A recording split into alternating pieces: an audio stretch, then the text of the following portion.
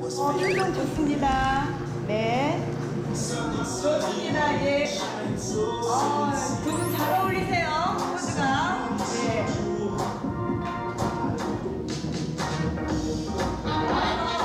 자신감 가득한 표정의 모델들. 그런데 모델들의 나이가 좀 있어 보이는데요. 여기는 어떤 곳이에요? 네, 여기는요. 제 2의 인생을 시작하고 싶은 사람들이 모인 곳이에요. 그래요? 여기서 네. 어떤 거 하고 있는 거예요 지금? 여기서 지금 워킹 공부를 하고 있죠. 걸으면서. 네. 워킹? 예. 아 모델을 꿈꾸신 분들이요? 그렇죠. 시니어 모델이 되시고 싶으신 분들이.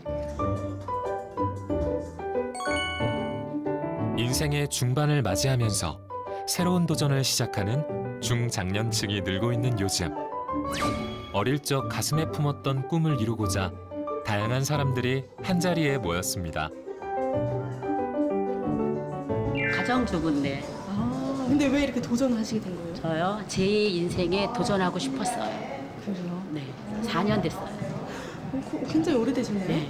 음, 했을 때뭐 네. 가족들 반응은 어땠어요? 너무 좋아해요. 신랑이 저 매니저예요. 아 진짜? 네. 네, 여기서 이렇게 동료분들하고 어, 연습하고 막 하고 가면은 일주일 내내 즐겁고 옛날에 또 기다려줍니다.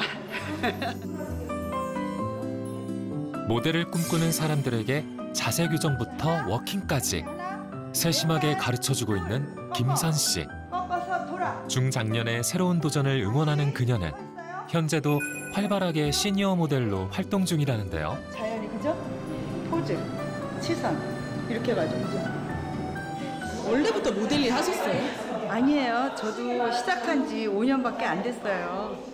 그럼 이 전에는 무슨 일 하셨어요? 원래 저는 초등학교 교사였어요. 돌아. 초등학교에서 아이들을 가르치던 그녀. 도대체 어쩌다 시니어 모델을 시작하게 된 걸까요? 아이를 셋을 낳고 살다가 보니까 이제 은퇴해야 될 때가 됐고 그렇다면 음, 100세 시대에 내가 뭘 하면 좋을까라고 생각을 했을 때 어렸을 때 가졌던 또 다른 꿈 모델을 했으면 좋겠다. 그래서 도전을 하게 되었죠.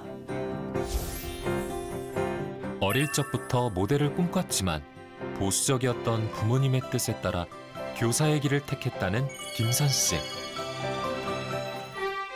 그러나 50대가 되고부터 지난날 동안 잊고 지냈던 꿈이 떠올라 가족들의 반대에도 불구하고 시니어 모델에 도전하게 되었다는데요.